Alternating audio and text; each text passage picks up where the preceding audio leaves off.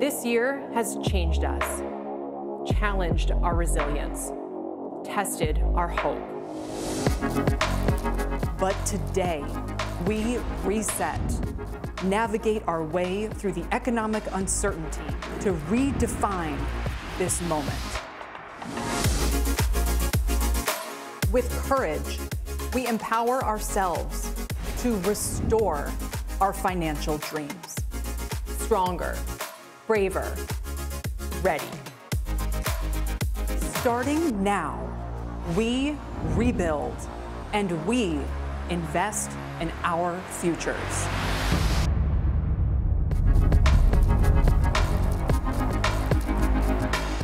Good evening. I'm Jim Cramer. And I'm Kelly Evans. As the coronavirus hits another grim milestone, with the U.S. reporting its second highest day of new cases, we all feel the weight of this global crisis every day. But we also need to feel our way through this and find a way to move forward. Tonight, you'll meet extraordinary Americans. From frontline workers to small business owners to the class of 2020, their financial lives upended by the recent health, economic, and social crises. But they are determined to find a path forward. NBC Universal and Comcast Ventures are investors in the financial wellness app Acorns. We're all teaming up tonight to help these folks reset and rebuild their financial futures. Tonight, we're also celebrating homegrown heroes, Jim. Yes. I mean, look, the pandemic may have sent us into isolation, but these people responded, Kelly. They stepped up to serve their communities, and their neighbors took notice. At the bottom of your screen, we usually run a stock ticker. That's what I'm familiar with. A scorecard of how companies are doing throughout the trading day. But tonight, tonight we replace the heartbeat of Wall Street with the heartbeat of America. Neighbors saluting neighbors. And this is a town hall. So tonight, we're connecting with you. We're answering your financial questions. CNBC's senior personal finance correspondent, Sharon Epperson, is here with more on how that's going to work. Sharon? Good evening, Jim and Kelly. It is a thrill to be here tonight, and we have so much to tell you about. You know, we've talked a lot on CNBC about the great disconnect. What's happening on the in the stock market is not happening on Main Street for many Americans. They're struggling. They're uncertain about their future. And tonight, we've brought some top experts to come in and help. They're going to be on Facebook, members of our CNBC Financial Advisors Council, to answer questions that people have about some of the most pressing issues they're facing today. How do I protect my retirement money when the market is uncertain? Should I pay off my student loans right now? Well, you have many questions, we're sure, and we have several advisors that are ready to answer your questions on Facebook. So head right over there and we will get you some answers tonight. Thanks, Sharon. I always love working with you. Don't get to do it enough. You are terrific. And for our Spanish speaking audience, we are partnering with our sister network, Telemundo, tonight. CNBC and Acorns contributor Janet Alvarez is standing by. Janet, how are you doing? Good evening, Jim and Kelly. You know, the Latino community has been particularly hard hit by the pandemic, and our friends at Telemundo have been helping many Latino small business owners find their way forward with their Nuestros Negocios initiative. But it's not just business owners that have been affected. Many have had their financial lives upended. So tonight, we're answering their questions on the Noticias Telemundo Facebook page. Go to facebook.com slash Noticias Telemundo. Gracias. Thank you, Janet. We all appreciate it. Let's get right to our first story. And tonight, we start on the front lines of the coronavirus pandemic. My name is Jador La Rosa Matis, and I am a registered nurse here in New York City. I live in West New York, New Jersey with my husband, Stefano, and our two year old son, Amir. I can't put into words the feelings when I held him near my arms for the first time. I wasn't raised with a father. My dad left when I was a couple of weeks old. So having now my own family and my child, it's one of my greatest accomplishments. When COVID 19 happened, my life changed dramatically. I had to move out of my home, stayed in a hotel for three months, and my decision really was to keep my family safe. Being on the front line, working every single day during this pandemic was very scary because a lot of times people don't see what goes on behind the walls of the hospital. The hardest part is seen patients dying in numbers that I haven't seen in my nursing career. One of the things that I did to cope during this pandemic was to keep a digital diary and write in my phone every day to my son Amir the day I was reunited with Amir, I was very, very nervous. It was truly emotional, very, very emotional, but, but it was a great feeling just to have him in my arms again. It also let me realize that how fragile life is and how much we have to just appreciate the fact that every day standing above ground is a blessing.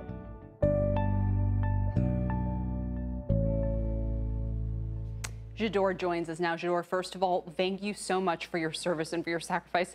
I have a two-year-old. I couldn't imagine being away from him for several months. So thank you.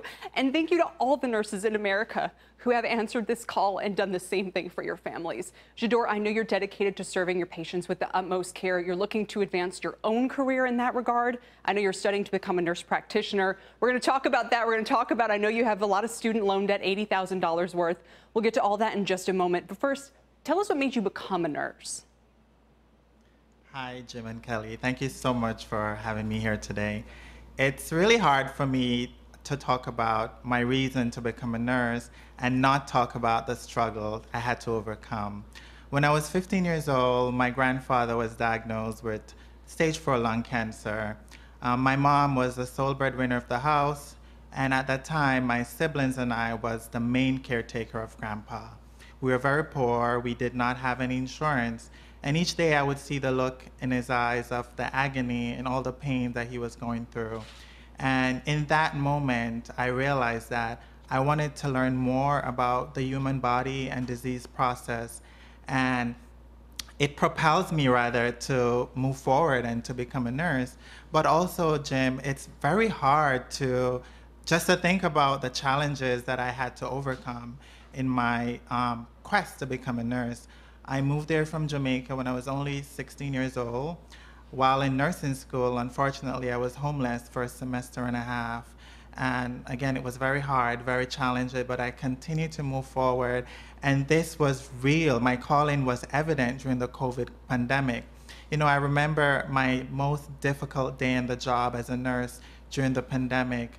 Um, we had a patient who coded and everyone on my team, the doctors and the nurses, we try everything in our power just to get a pulse, just to keep her alive.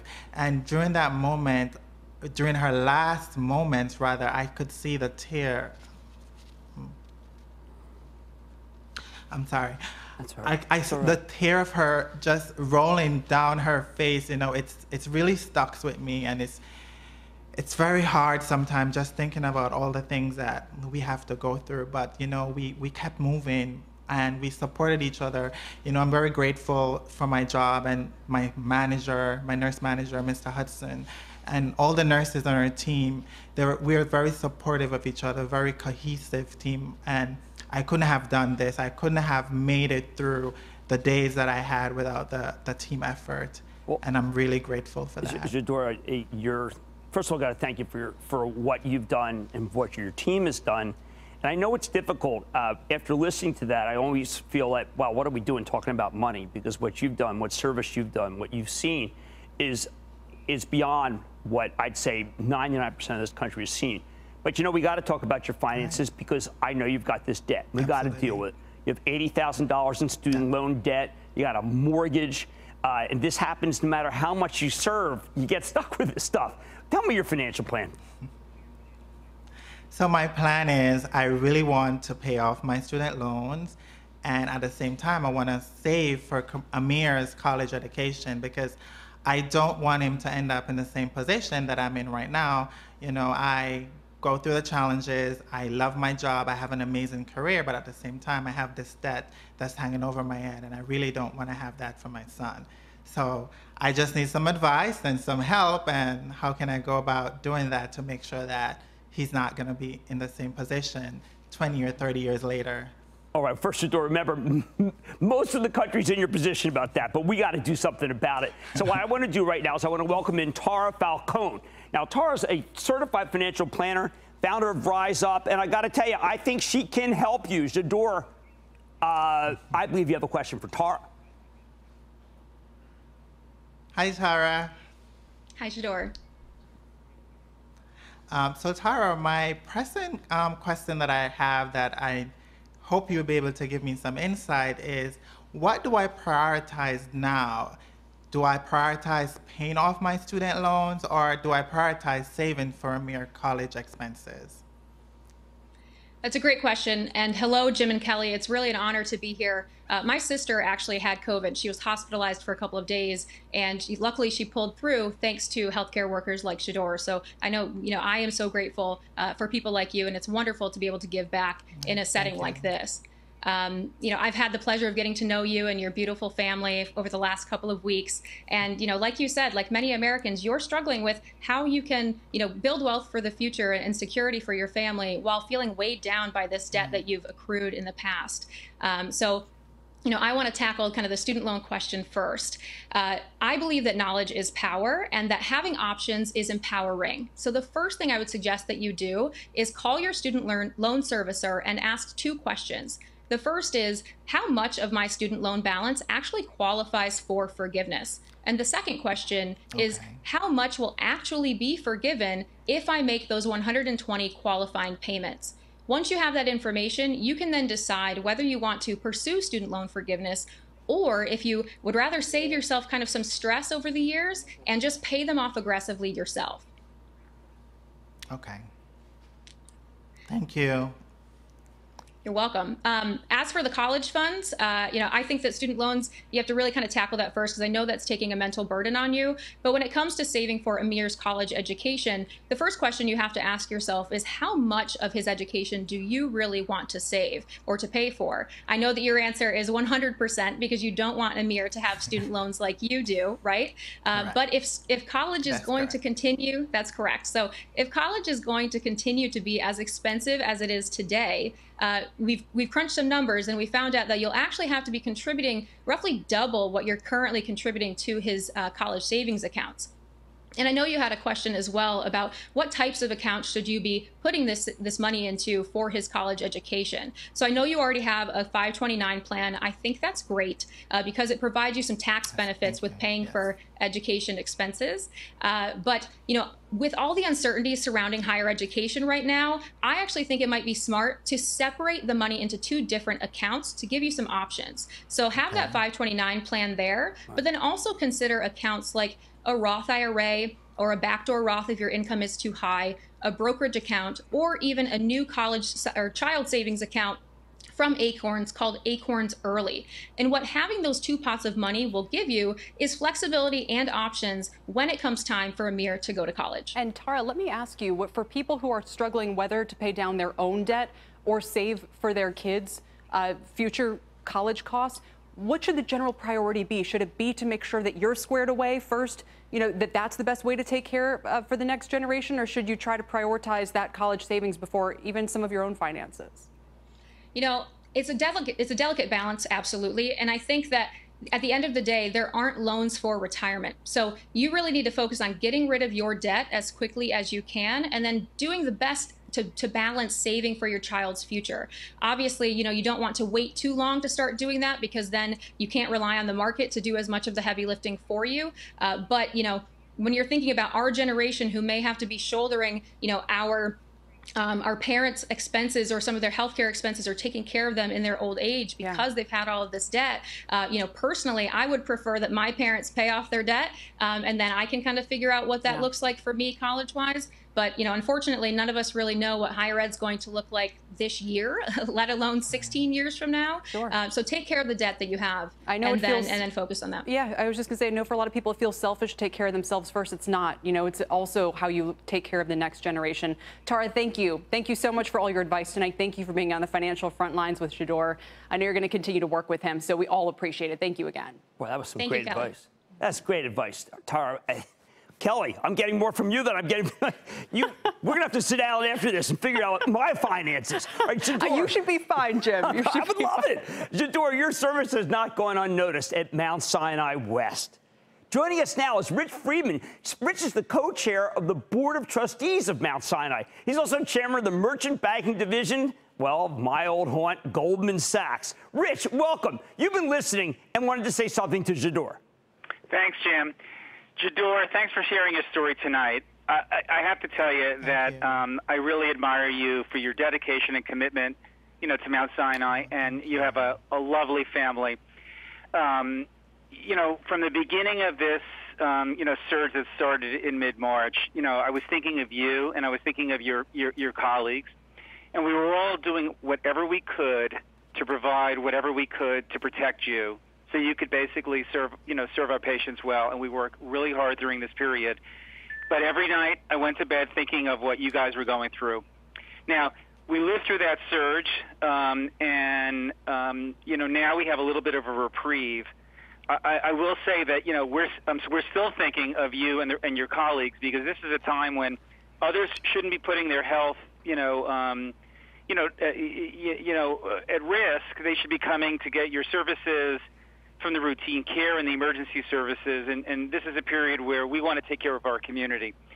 And, you know, during the period, we, we saved thousands of lives. And, you know, I could see how emotional you were about, you know, watching some of the people that you did everything possible you could to take care of them. And this is going to be historic for you. You're going to be, you're going to be able to tell your children this, the stories of, um, of what you went through.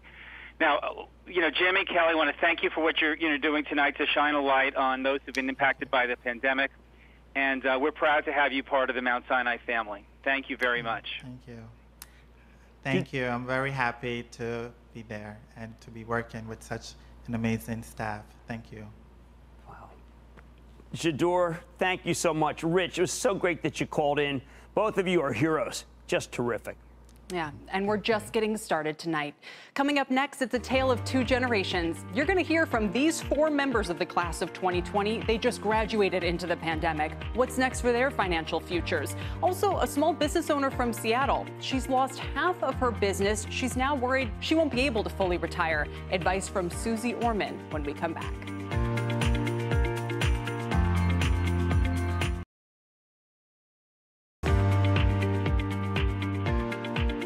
Welcome back. Tonight we're talking to everyday Americans impacted by the pandemic. Our job is to help them figure out their financial path forward. There are nearly 4 million members of the class of 2020 who graduated right into this crisis. Let's meet four of them right now. Welcome Denny, Tarek, Sydney, and Juvie. Denny, Hi. why don't we start with you? How has the pandemic impacted your life?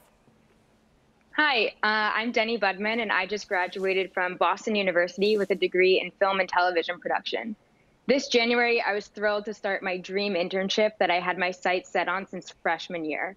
I really thought that it would be the launch of my career, and my job there would turn into something bigger and better after graduation.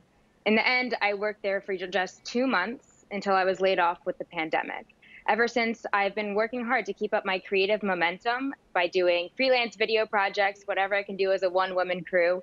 And I'm actively looking for opportunities to continue learning and make my way in the film industry. Boy, I bet you will. I bet you'll have some success, but I know it's going to be tough right now. How about Terry? What are you up to? Hi, my name is Tarek Ziad. I graduated from Yale University with a BS in ecology, BA in theater studies, and honors in both my majors.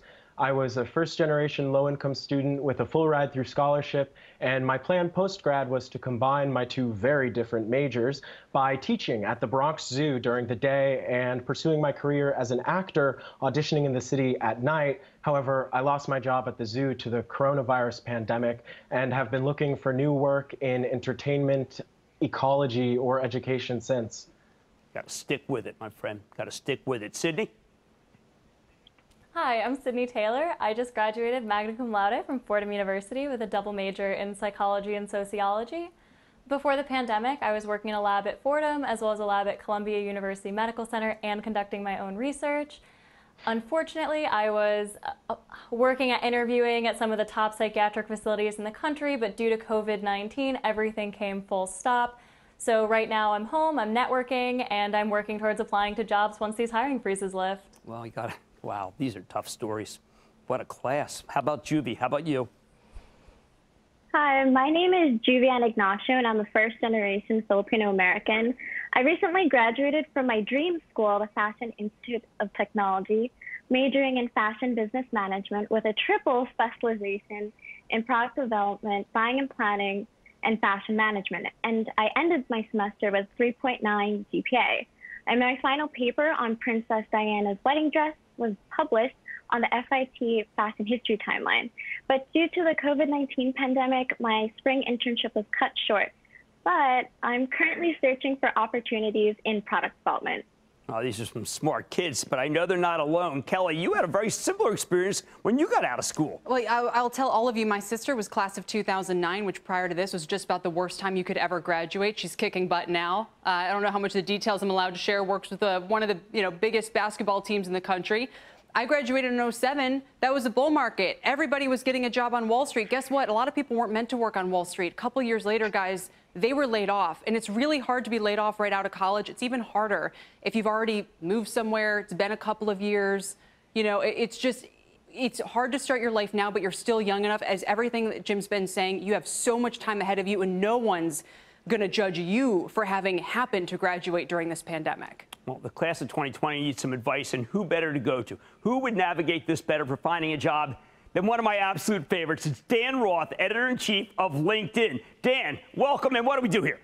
Uh, thank you so much for having me on. First of all, Kelly and Jim, thanks for doing this show. This is so important. And to the graduates, I would say congratulations on accomplishing what you've accomplished. This is an incredibly rough environment. Kelly is right. You have a long time ahead of you. The, you will look back on this as stories that have built you up but you want to know what to do today. I've got some advice for all of you, and it kind of all ties together. Number one is you want to make sure that you are you have some kind of side hustle going. So, Tarek, I would say you had your dream job. It is not possible right now to get your dream job, or if it's not possible right now, just get a job. You got to get any job. You can work online if that's an option. Uh, be an online tutor. There's all kinds of. We're seeing that there are new uh, virtual jobs that are available. The companies are in demand. If you can go and tutor, just get a job, and then on the side, work in theater. Find the things that you want to do that truly are you're passionate about, and maybe one day those two come together. But you got to get out there, and you got to have something on your profile that says that you're working. That's one. Mm-hmm. Denny, I would say to you, look, this is, I think it's incredible that you're already being creative and you're trying to help people in your community and you're shooting, you're being a one woman uh, production crew. You got to do more of it. You have to brand yourself. I would go out there and make sure that you have a really strong profile on LinkedIn where you're creating content, YouTube, uh, Insta, do it everywhere. And, and just become your own brand. People will hire you. There's a whole generation that doesn't know how to do what you're doing, and they know they have to. So they are looking for people that can show them how to make it happen. Um, Sydney, gain those transferable skills. If your dream job isn't available right now, that's okay. Seek out the industries and opportunities that will get you those skills. And I think you'll find something that you never expected to have. You, but it's going to be an unusual path to get there.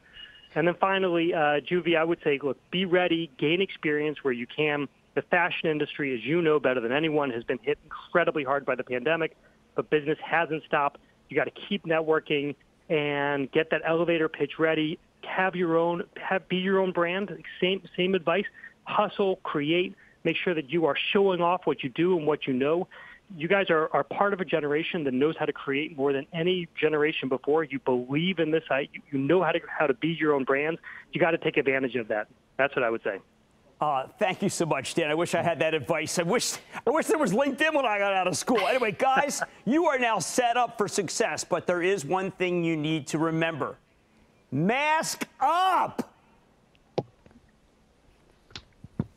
Now go conquer the world, you tough class of 2020. That was great advice. I totally echo that, Dan. Thank you so much. Let's head out west now to meet Glenda West. She's a small business owner in Seattle. She owns a construction company with her wife. They lost half of their business due to the pandemic. Glenda is here tonight. Glenda, welcome. We are thrilled to have you. We want to help. Let's talk about your plan. You wanted to retire in 10 years. You're worried now about making that happen, right? Yes, we were, uh, my wife and I, Juliana, we were on a strong trajectory. 10 years, we were going to be retired. We've been putting aside 10% of our income. Uh, when the stay at home order came, we were suddenly slashed in half. We didn't have the revenue that we had. Only work we were allowed to do was essential work. And now we're looking, saying, are we going to be able to retire? Yeah. Glenda, you told us there is one personal finance expert that you've been following for years. And we have brought her here to help you tonight. Suze Orman is author of The Ultimate Retirement Guide for 50 Plus. It's only her 10th consecutive New York Times bestseller. She's also host of the hit podcast Women and Money. Suze, we're thrilled to have you back. Welcome back to mm. CNBC tonight. I know you've been doing some homework on Glenda. What should she do? I I have. Glenda, I need you to listen to me. Because you've been following me for so long, what's fabulous is let's not look at what you don't have, let's look at what you do have. You have a 12 month emergency fund, you own your home outright, you have a will, you have a trust, and you have money. And so, what's interesting is I know one of your biggest fears is that in 10 years you wanted to have $2 million and you're afraid that you won't have $2 million. Well, girlfriend, let me talk to you for a second. You always have to hope for the best, but plan for the worst. You told us that you still think that you can put away $100,000 a year for the next 10 years. You currently have $1 million in a retirement account. So, and other savings. But so just listen to me closely. Let's say we were wrong you couldn't put $100,000 a year away. You could only put $50,000 a year away. And let's just say that all you could make on that would be 2.5% annual average rate of return. In 10 years, you would still have $1.8 million. Hey, if you could do 5% annual average rate of return, you would have 2.3 million. And if by chance you can continue to put $100,000 a year away girlfriend, at 2.5%, you'd have $2.4 million, and at 5%, 2.9 million. And I think Jim would agree with me that these are not exorbitant rates of return that aren't possible. So what's key here, the key here is what are you invested in? Not how much money you have, but where is your money invested? I've got to tell you, Glenda, you just got the expert. Uh, what do you think of that advice? You're a working person, uh, because I've always worshipped what Suze has to say. How are you going to put it in place? I think that this is great. I mean, I'm so excited that I feel like my goals are going to be met. I was afraid they wouldn't be, and now I feel like my future is still set where I thought I might have lost my future. Well, let me just say something to you, girlfriend. Number one, you're going to get a copy of my book, right? The Ultimate Retirement Guide for 50 plus winning strategies to make your money last a lifetime. And I signed it for you, if you can see it there, wherever it is. But the best thing is, after this is all over, after you've read the book, you and me are going to have a one on one session so I can go through everything with wow. you and make sure that you are absolutely okay. In fact, that you're more than okay. Well, that is Suze. Uh, Glenda, we got to wish you the best of luck. And Suze, there's nobody like you. Thank you so Thank much. Thank you so much. Oh, I miss you, Suze. And I know you're going to continue to work with Glenda. And for all of you at home, let's just say you got to do this. You got to do this for me. You got to go to SuzeOrmanAudio.com. That's SuzeOrmanAudio.com to stream the Ultimate Retirement Guide for 50 plus. You will not get any better information and advice than Suze Orman is going to give you. Coming up next, don't go anywhere. We're going to hear from a veteran in Atlanta. She had to dip into her emergency savings just to make ends meet. What she needs to do to rebuild her financial path forward. We're back right after this.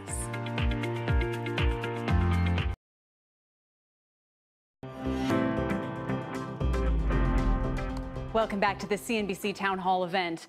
We're taking your financial questions live right now. Go to facebook.com slash CNBC for more advice. And for our Spanish speaking audience, go to facebook.com slash Noticias Telemundo. You can find the same there. All right, let's now turn to our next guest.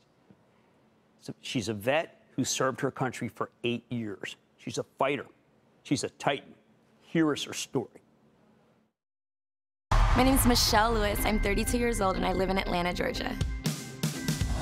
I do real estate for a living, and one aspect I absolutely love about my job is getting people back on their feet, reinventing themselves, starting anew in a new city, because I know what it's like to want a new beginning. I joined the military when I was 17 years old. We deployed to Kuwait, Iraq, so I went from being in high school still living with mom and dad to like I'm fully suited on a security team doing missions. We're jumping, we're rucking, 6 a.m., you're up, we're fighting, we're training, training, training, training, training. And you gotta think I joined the military when I was a little girl.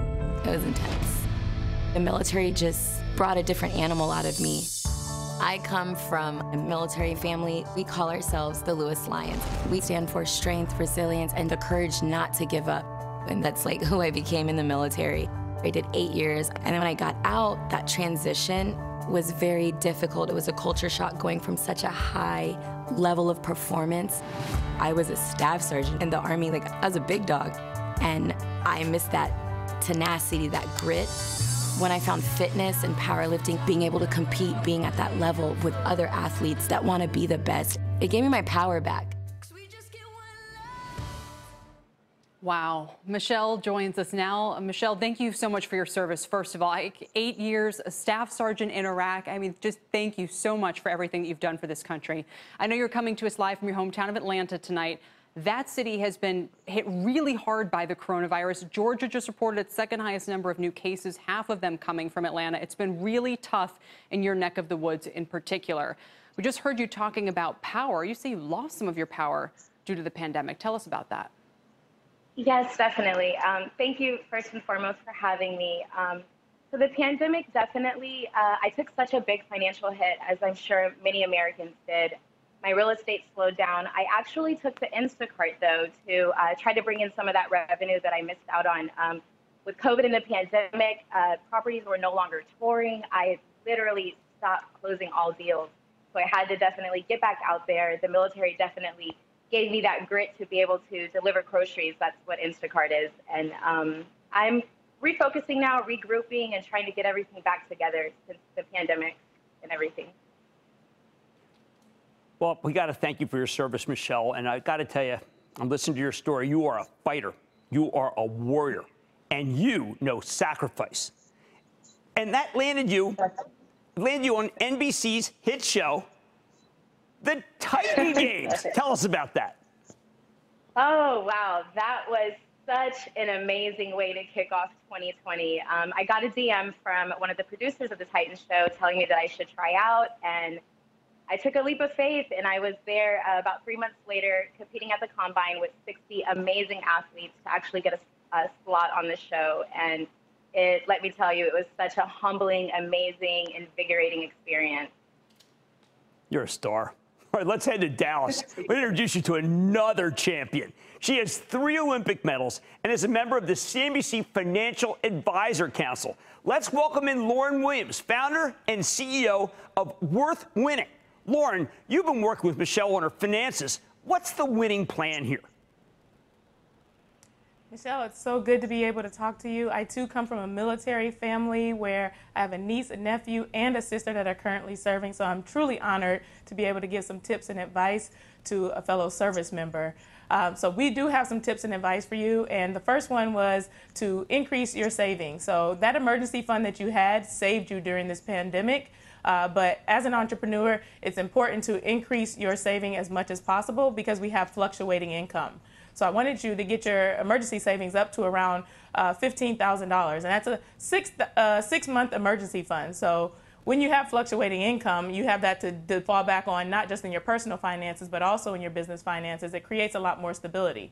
That number can be a little bit overwhelming for people. So, what do you do? You can either increase uh, your saving or you can de- decrease expending, decrease your spending. So, what you decided to do was start doing Instacart and increase your income, and it was a great idea. One other idea I have for you as it pertains to increasing income at a time like this uh, is Airbnb experiences. So you can use your training expertise, you can use your motivational aspects to be able to share right virtually from your own home and be able to earn income to build that emergency fund or just to close the income gap during that time.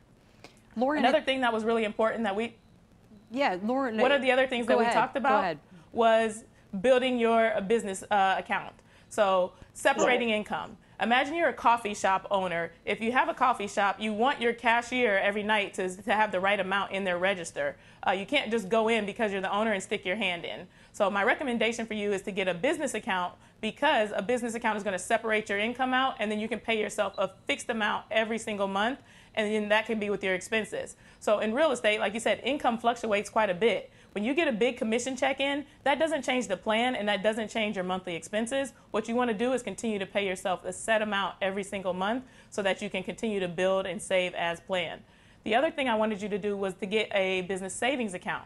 The reason is you got to put some money aside for taxes. So taxes is something that throws entrepreneurs off quite a bit. And if you have money come in and you go ahead and set that money aside for taxes right out the gate, um, instead of letting it flow into a different account, you know you're going to be good to go and you're not going to owe Uncle Sam when it's time to pay him. This is gold the third medal thing advice. that I think is really important, gold Michelle, medal advice. Uh, go ahead. I, I want to hear if Michelle thinks this is all achievable. Lauryn, go ahead. What's your last piece of advice?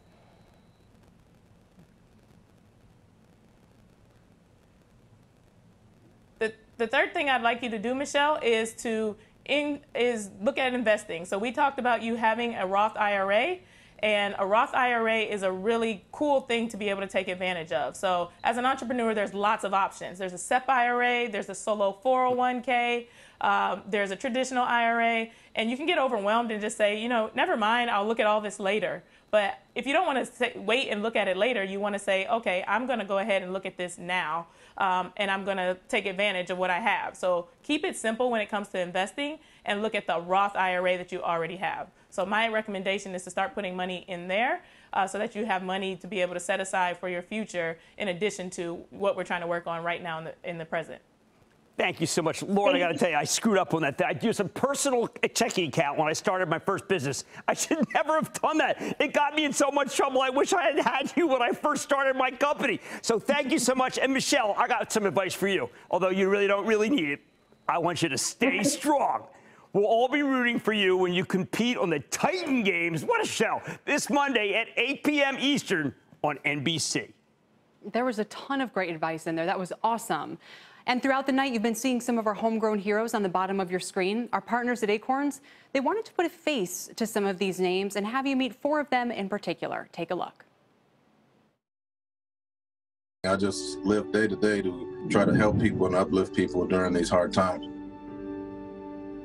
We've been uh, sending out food to 150 families so far, and it's all done with donations. There's so much bad news. I was just thrilled to see something positive. Once you take that first step, the hard work becomes so much easier. She was teaching five days a week and doing, you know, a lot. I knew that my community would suffer the greatest. I realized I can do something. She is one of the greatest people that I've had enter my life in the past year, and I'm, I'm so thankful.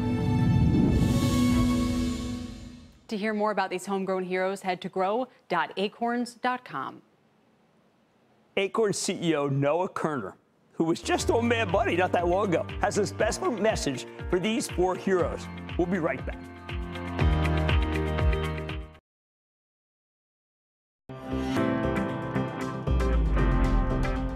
Welcome back. Let's meet another homegrown hero. Brian Taylor is owner of the Harlem Doggy Day Spa. He responded to the pandemic by doing good for his community by offering his pet care services for neighbors in need. Brian joins us tonight with one of his clients. The nice pink tongue there. Uh, but what's what's his name? It's her name. Her name is Cheryl. Cheryl. It is great to have you both here. Brian, how has the virus impacted your business?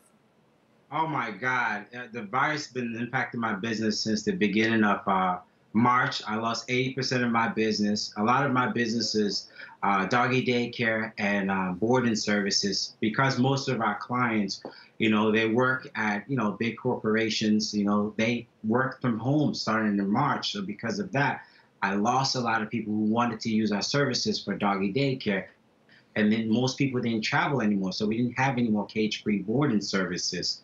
So unfortunately, I had to let go a lot of my staff, and I just revamped and started offering grooming services. Since I started my business as a dog groomer, uh, for every grooming that I did, I was able to then raise money through donations from my clients, where then I'll give grooming services at no cost to people who are struggling because of the pandemic. Wow. So I, I, I raised over $2,000 and I was like, you know what? I got to help more people. So I got some of my grooming pals to come together with me.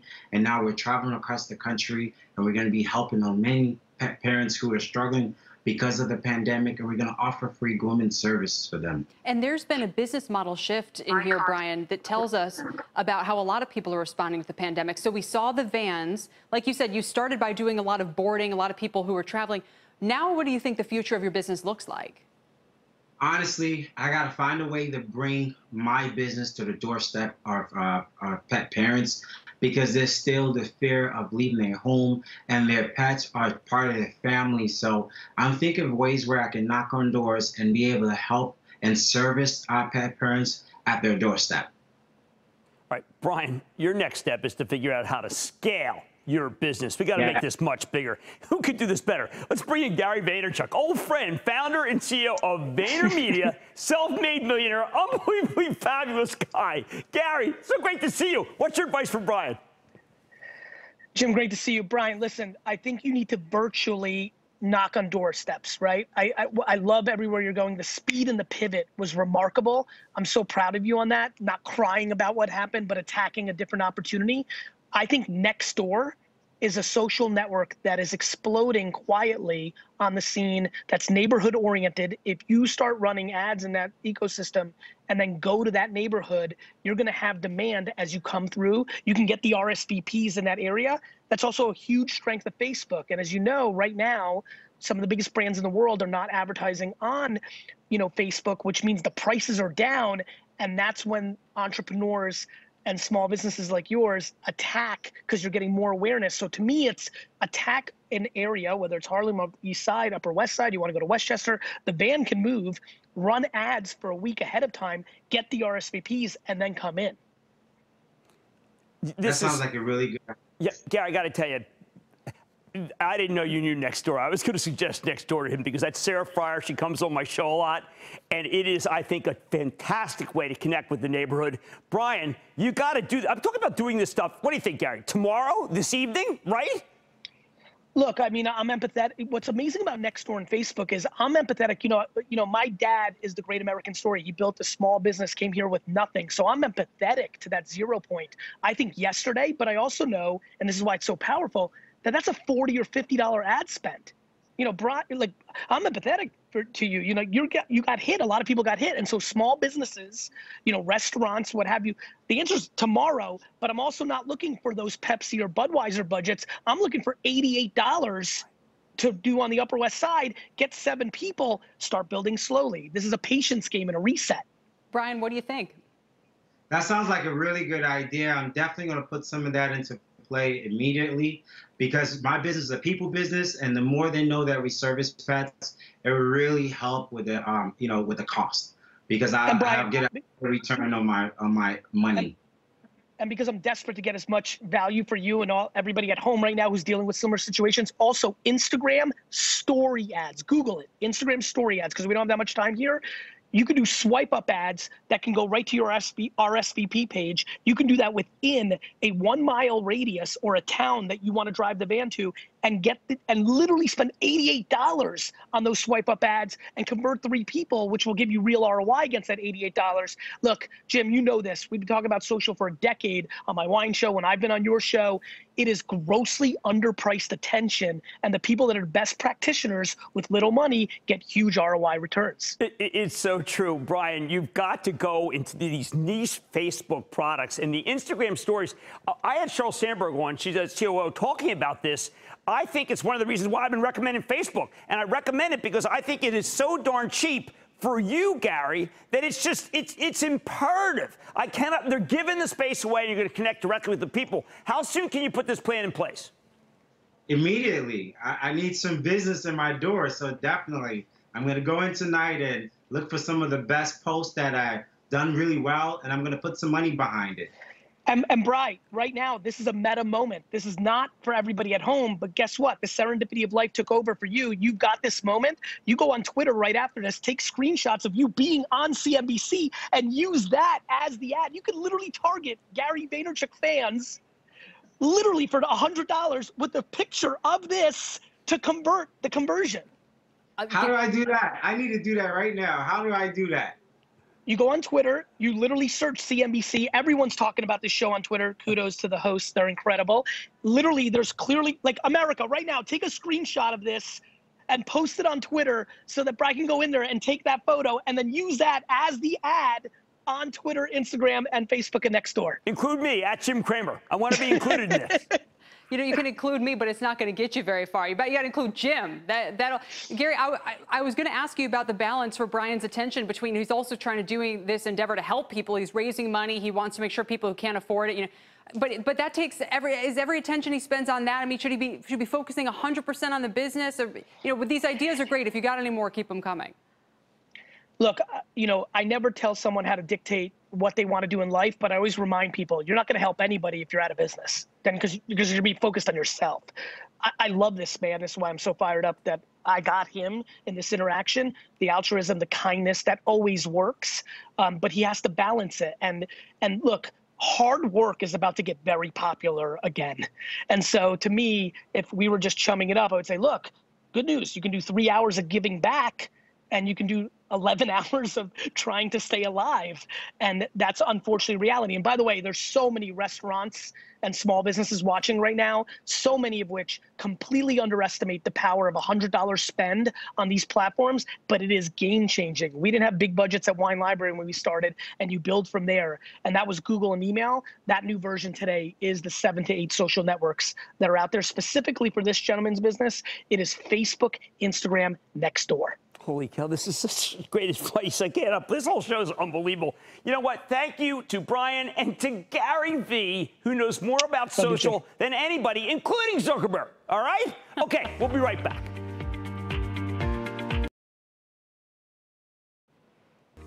Thanks to our partners at Acorns, and thanks for watching. What a great night. For more, go to cnbc.com slash invest in you. Shark Tank starts right now.